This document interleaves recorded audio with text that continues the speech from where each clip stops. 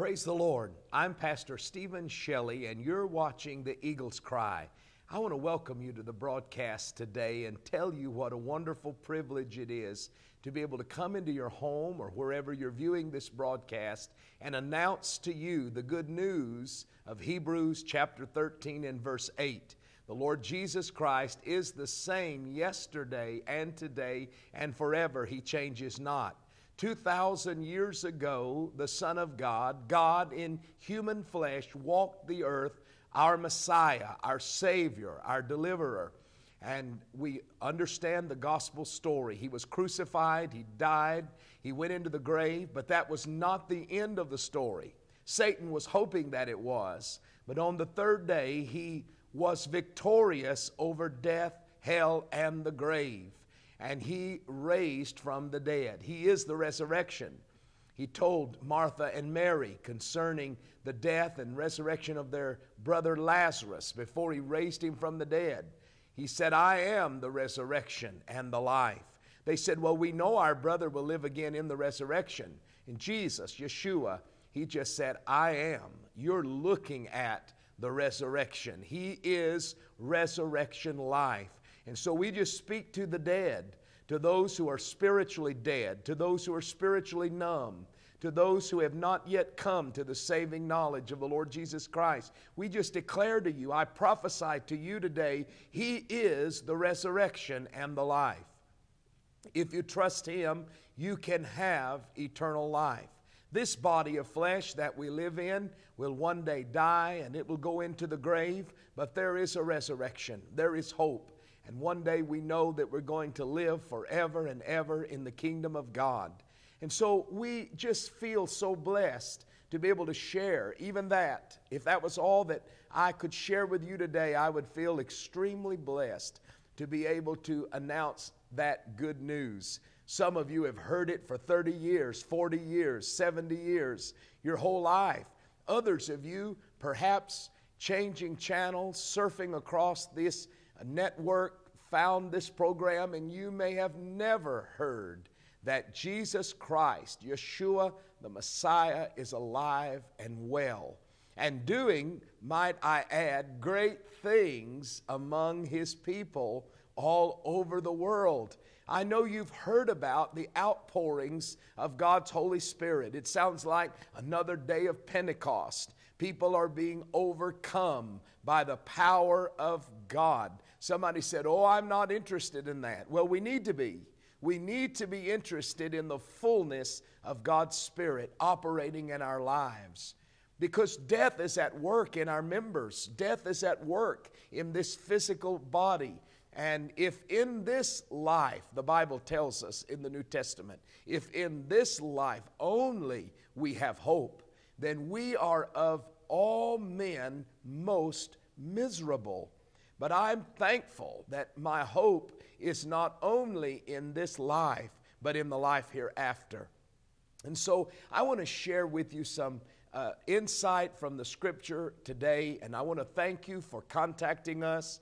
You have called, some of you have sent letters and emails to let us know. This program is airing on several networks. It is also streamed live over the internet uh, on the two networks the Gospel Channel out of Iceland, all across uh, Europe and the UK, and then on Angel TV out of southern India. We're going out across the Middle East and Asia and both of these networks stream uh, their channel over the internet.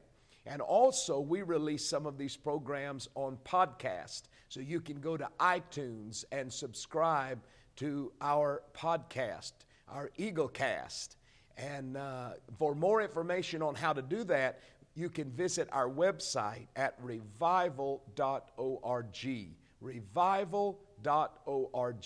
I'm going to spell revival R E V I V A L dot org o-r-g i want to make it simple because you'd be surprised how many ways i've seen people spell revival over the years and spelling is not my uh, number one gift either so uh, I just want to make it simple for you. It'll be on the screen as well. Let's get into the Word of God today. And again, thank you for tuning in. We're going to begin a series where we're going to be speaking to you about exercising the spirit of man.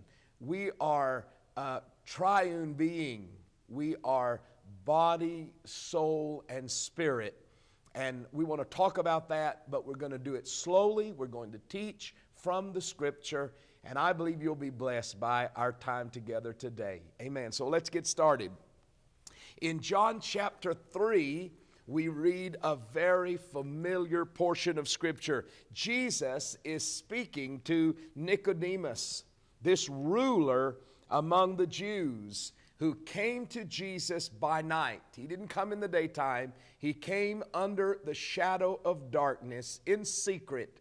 His heart was uh, a heart of inquiry, he was interested, and he came to Jesus to find out just what was going on. You see, being a Jew, he was very religious, very knowledgeable of the law. He knew the prophecies concerning the coming of the Messiah, and he was just fascinated. But because he was a ruler among the Jews, he didn't want to be identified. He didn't want people to know that he had come. So he came by night and he asked Jesus in John chapter 3 Rabbi, we know that thou art a teacher come from God. This is verse 2 For no man can do these things that thou doest except God be with him. Now, I want to skip down for the purpose of this study to verse 6.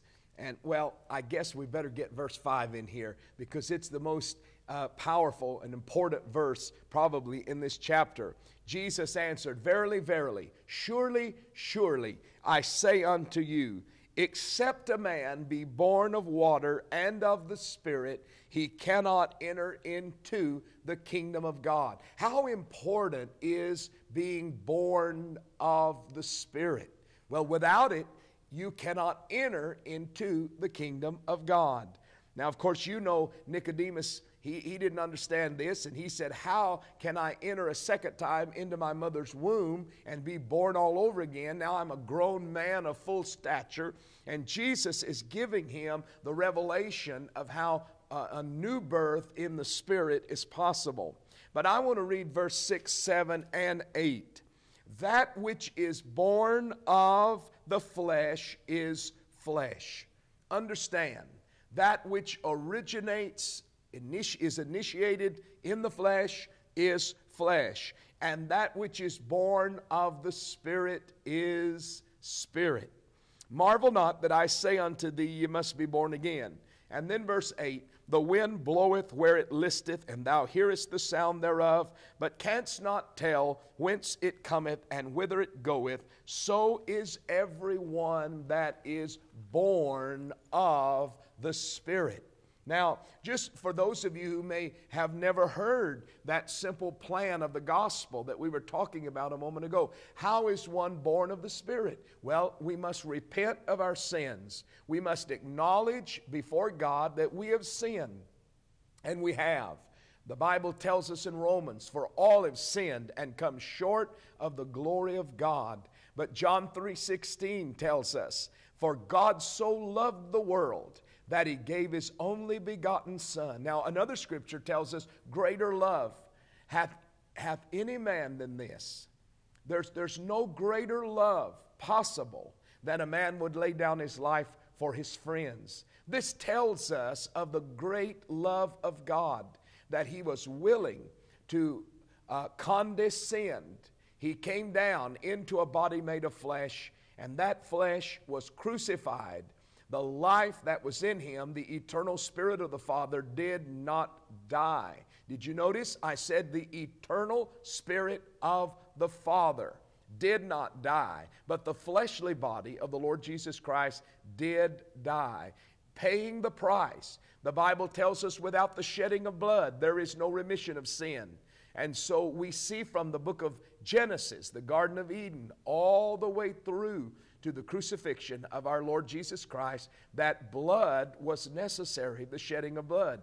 Interestingly enough, the blood of Jesus was not just the ordinary blood, it didn't just have the DNA of man, but it had the DNA of God. It was blood that was specifically designed for man's redemption. Hallelujah. And it doesn't just remit our sin, it doesn't just cover, I should say, it doesn't just cover our sin, but it remits our sin.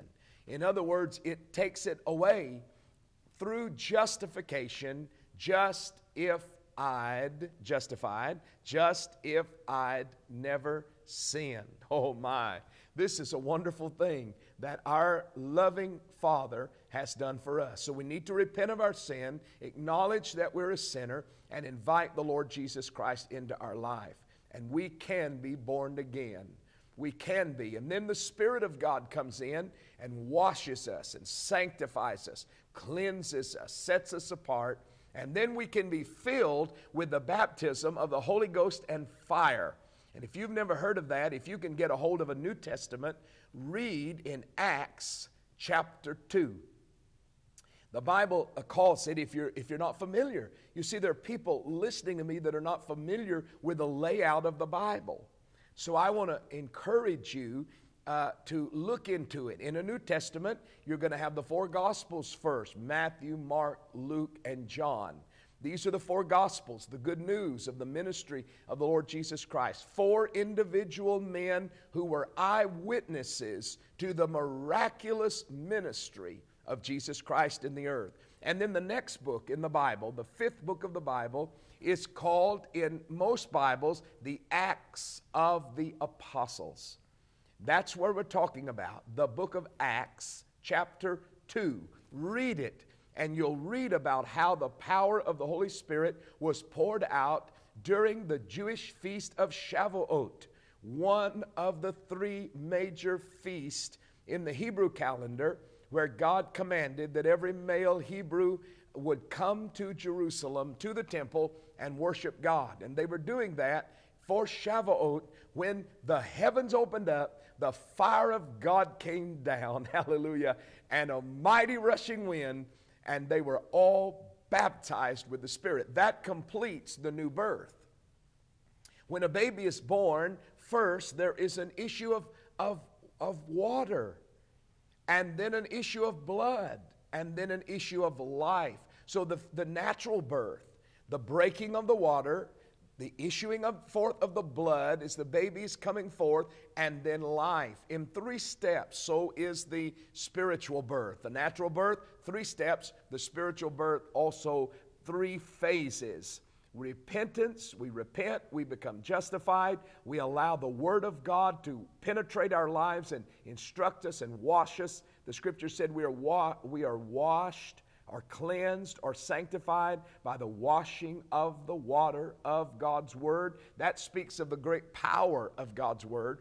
Then we are filled with the precious, wonderful gift of the Holy Spirit, the Holy Ghost, and fire. And I'm telling you, it's a wonderful, wonderful experience. Acts 2.38 says, Repent and be baptized, every one of you, in the name of Jesus Christ, for the remission of your sins, and ye shall receive the gift of the Holy Ghost.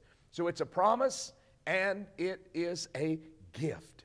This is how we come. Now, we want to talk about something uh, that is, I think, vitally important to understand as spirit filled believers. So now we've spent this time just introducing whoever might be watching who needed to uh, have your memory refreshed on the plan of salvation, or perhaps you've never really heard it before. You've heard about Christians, you've heard about those who follow Jesus, and what you've heard may or may not be true, may not be the truth.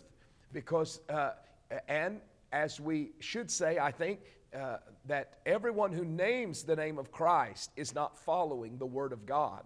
And so there are going to be people who say, Well, I was born a Christian. I was born a Christian. My mother was a Christian. Well, I want to tell you something, friend. God doesn't have any grandchildren. And so you're, you're not just a Christian because your mother was a Christian or your father was a Christian, uh, because you, that may be your religion. But we're not talking about religion. We're talking about relationship. Uh, and every man, woman, boy, or girl uh, is invited to have for themselves a personal encounter with the living God, a true blue, real, genuine relationship with Jesus. You say, well, that's impossible because Jesus left the earth. He died, raised from the dead, and some 30, 40 days later ascended into heaven, we're told. And so, where is he now? Well, that's where you need to read Acts chapter 2. I'll tell you where Jesus is. He's right here, living inside of me. Uh oh, somebody said, I'm turning that preacher off. He said he was Jesus. Well, every spirit filled believer is carrying in them a deposit of the Zoe. That's a Greek word for the life of God. It's inside of us. So, where is Jesus in the earth? He is not in one physical corporate body. He is now in a multitude, a many membered body where we are walking out by the Spirit of the Lord, introducing the life of God to the earth. For more information, if you need to understand some of these things, we don't have time to go into the, the complete depth of it today. Contact us.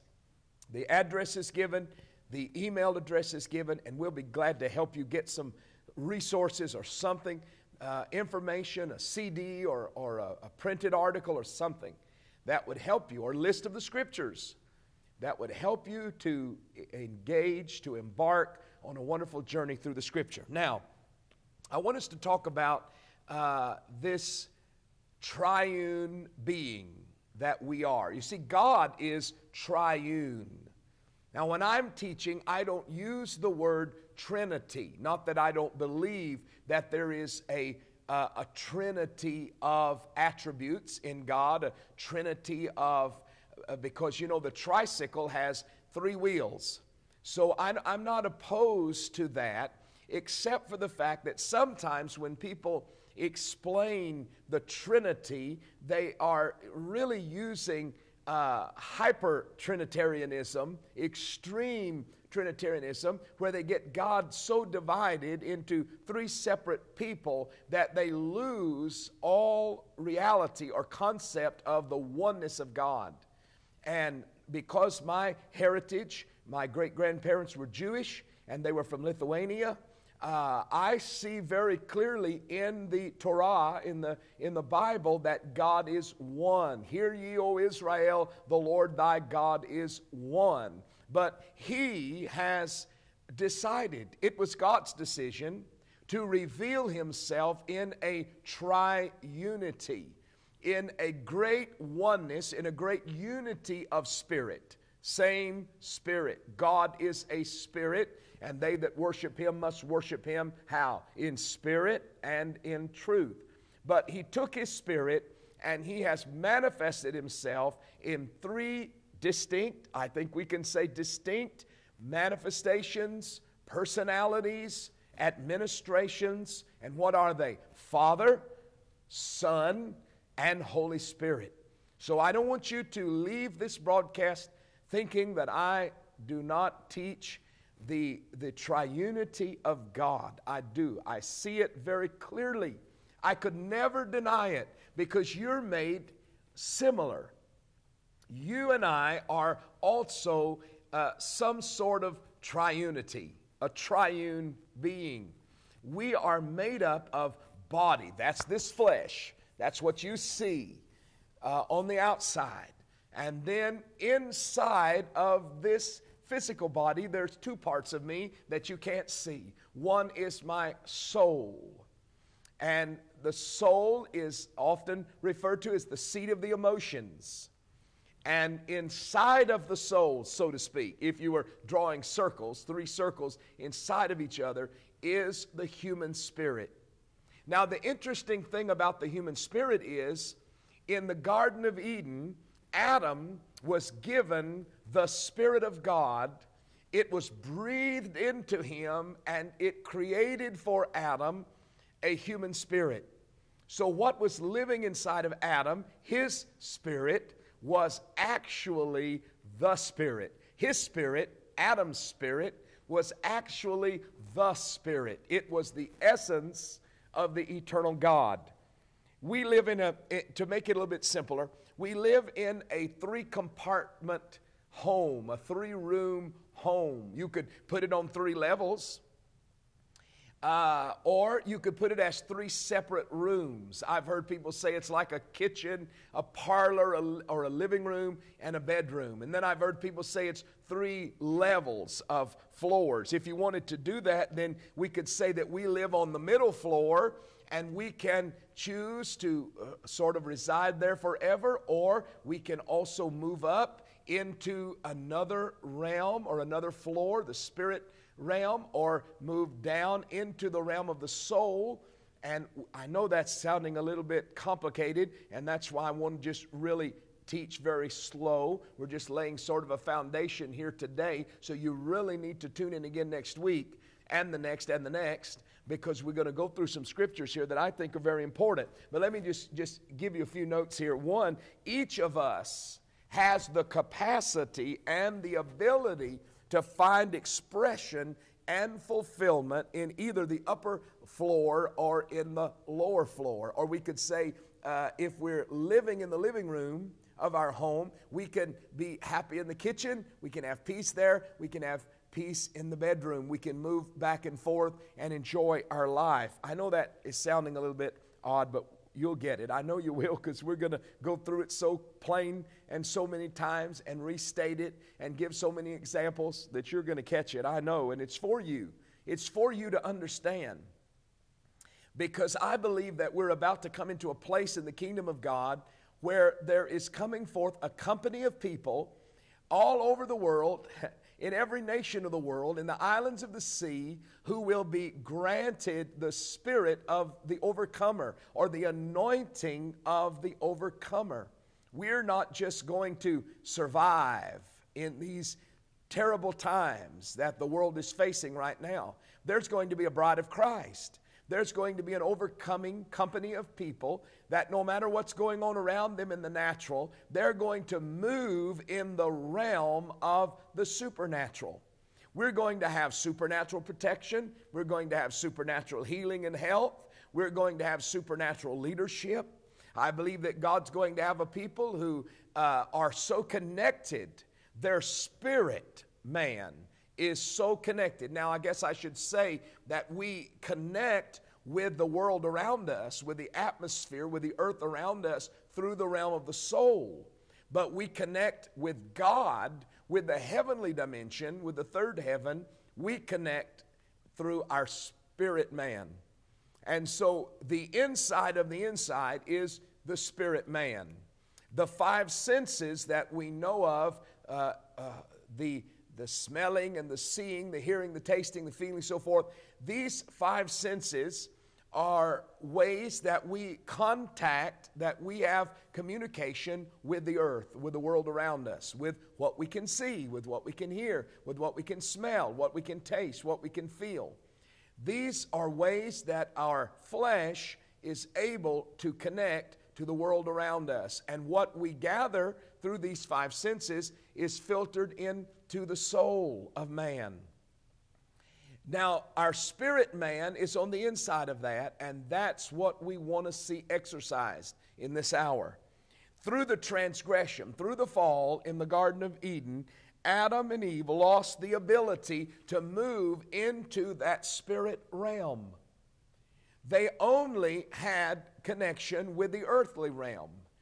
Through the five senses of the flesh, that information filtered into the soul so any kind of communication that they had was very low level communication, low level understanding. But there was a time that Adam was able to access God through his spirit because he was made in the very image and in the very likeness of God.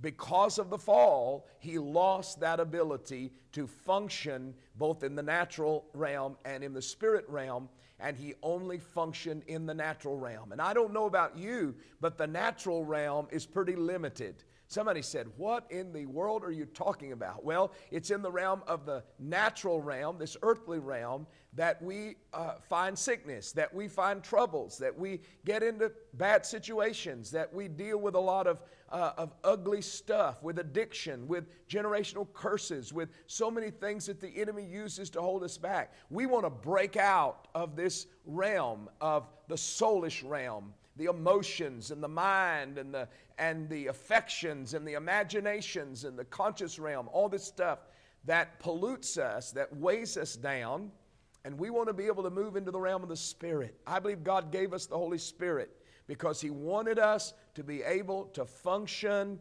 whole. We're to be whole. We are, uh, we receive a lot of woundedness in this life, don't we? We lose a lot of our spiritual ground. We lose a lot of that sometime when we get slapped upside the head with circumstances, when we get sick, when, when our loved ones, we see our loved ones suffering. There's so many things that happen to us to distract us. That's really what I want to say. There's so much going on. We get it through our five senses. We hear bad news. We see bad news. We can almost smell bad news. Uh, there's so much of that that distracts us from developing a relationship of intimacy with the Lord Jesus Christ. So we want to see the, the Spirit of God give us some strength to place some boundaries in our life to shut out some of the influences that the enemy wants to use to distract us. I mean, we've got to live and we've got to function in the earthly realm, but and and we have access to that earthly realm, but we want to be able to control that. We want to be able to determine by the Spirit of God how we let our circumstances affect us. In other words, the enemy doesn't want you to have joy. He wants to steal your joy. He's a joy thief. But uh, things are going to come, circumstances are going to come that sort of try to affect our peace and affect our joy. But the test is how quickly, how quickly do you come back to joy? If you get sidetracked, you start losing some of your peace and joy. How quick do you come back to that? Do you just kind of wallow around in self pity? Do you kind of wallow around in oppression and depression? Or do you quickly just start standing on the promises of God and rebuking the enemy and saying, I'm going to focus my attention on the Lord Jesus Christ? And, brother or sister, if you start doing that, I don't care how adverse the circumstances are. I don't care how bloody the wounds are. If you start focusing on the Lord Jesus Christ, you're going to come back to joy. You're going to come back to peace every time. And I'm feeling some of that joy. I'm feeling some of that peace right now as I speak to you about how available it is in the body of Christ. But we need to pray and go off the air. And I hope you'll tune in again to the program, The Eagles Cry, next week. But let's pray. Father, I'm excited. It took me a whole program to get excited to start moving into what I wanted to speak about. And Lord, I just pray. I know I've kind of moved quickly and I don't want to confuse anybody. I want to bless people. And I just pray, Lord, that you will, uh, by the Holy Spirit, you will let us digest your word. Let us get understanding. Let us get supernatural knowledge. And then, Father, above all things, let us begin to live this out. So we just come against the works of the enemy that try to distract and hinder God's people in this last day. And I just release deliverance right now. Let's just get right to it. I release deliverance from distraction, from bondages, from addictions. Lord, let somebody just reach up to you and send mercy and grace into their home into their place of business, wherever they are, and let your peace fill that home. I release your peace right now into that home, into that place of gathering. Let your peace and your joy and your comfort come. In the wonderful name of the Lord Jesus Christ, we pray. Amen and amen. I want to thank you for watching the Eagles Cry. Tune in again next time. God bless you. I love you. I want to be a blessing to you. Bye bye for today.